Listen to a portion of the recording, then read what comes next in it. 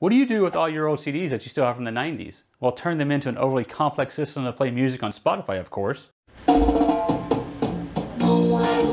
Oh, and try to impress Mark Rober in the process. I'll show you how I did it right now.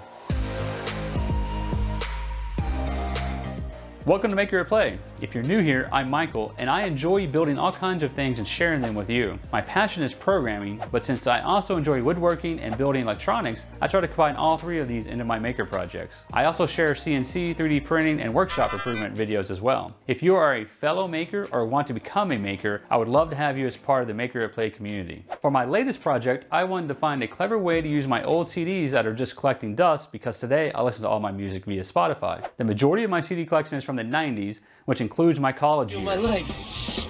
I have no legs! So what album or song reminds you of the 90s? Mine is in the comments below. Add yours by sharing a Spotify link so we can all listen to it. Keep watching to learn how Spotify links play an important role in this project. If you're too young to remember the 90s, I'm guessing you might not even know what a CD is. So feel free to leave a sarcastic comment to remind me how old I am. So what is the magic inside this little box that makes it work? NFC. NFC or near field communications has become very common in our lives. It can be found in badges used to open doors. Smartphones have built-in support for NFC as well, which allows for things like Apple Pay and Google Pay. Basically, NFC is the technology that allows two electronic devices to exchange a small amount of data when they are within about four centimeters of each other. There are five major components to this project.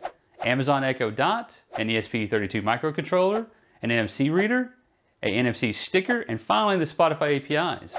In my project, the NFC reader and the NFC sticker are the two electronic devices that will exchange data. And exactly what data do they exchange? The link that Spotify provides to allow music to be shared with friends on social media. Every song, album, artist, or playlist in Spotify has a unique link that can be shared. I take the link for a given album and write it into the memory of an NFC sticker and place that sticker onto the CD. Okay, now the CD can share the Spotify link, but how do we read and use it? This is where we need the NFC reader and microcontroller. The NFC reader receives the Spotify link from the NFC sticker when they are near each other. The reader then passes the link to the microcontroller which tells the Spotify API to play the music. But we don't just say, hey Spotify play this, we tell Spotify exactly what device to play it on. Have you ever used the feature that allows you to tell Spotify to play on another device, like on one of the smart speakers in your home? Well, the Spotify API allows us to do the same thing when the microcontroller tells Spotify to play the music. It also tells Spotify exactly what device to play on in order to create the illusion that the Echo Dot is connected to the NFC reader. Now, if you're super nerdy like me and want to see the source code that makes this all happen,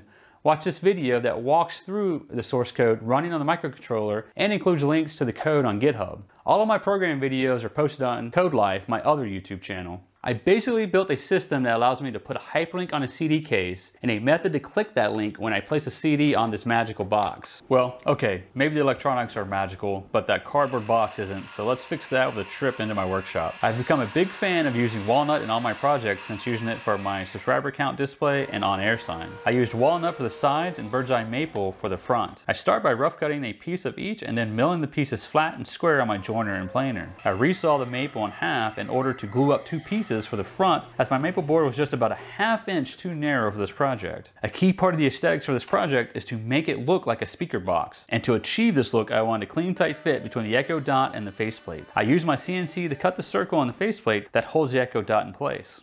Okay, here's a moment of truth. Oh, it's too small. Yep, my conservative first cut left the hole one and a half millimeters too small, which is better than making it too big and having to start all over. So I put it back on the CNC and cut the circle a second time. That, that is perfect. Having the Echo Dot fit into the faceplate this well was so satisfying. It was the most satisfying part of the project until I got to the magnets. The magnets turned out really cool. You don't want to miss that part, so stick around. Hiding the NFC reader and the wood support for the CDs when they sit on top of the box was an interesting challenge. The circle that was left over from the faceplate seemed like an interesting choice to use for this piece, but how could I hollow it out so the NFC reader could fit inside it? The simplest way I could think of was to cut it in half, route a pocket in it, and then glue it back together. So that's what I did. To completely hide the NFC reader, I needed to cut a precise slot in the top of the box that would perfectly align to the pocket I created in the CD support piece. Time to glue the box together. I went with edge grain butt joints for the box, knowing that the end grain at the front of the box should be fully covered by the faceplate. This provides a gorgeous horizontal grain for the side and completely hides the joint lines. I used a roundover bit in my router table to soften all the edges of the box. It amazes me how a small roundover can make such a big difference to the look of a project. Before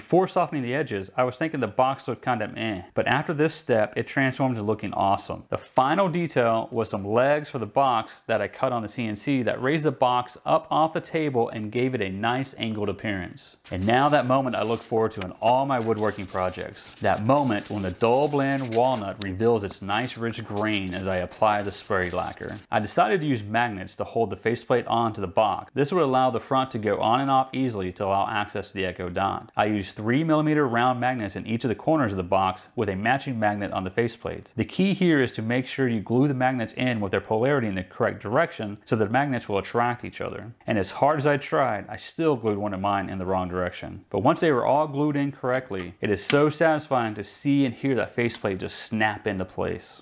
Now we have the magical case to match the magical electronics. Oh, and the YouTube algorithm thinks you would like one of these videos next, so click on one and see if it was right.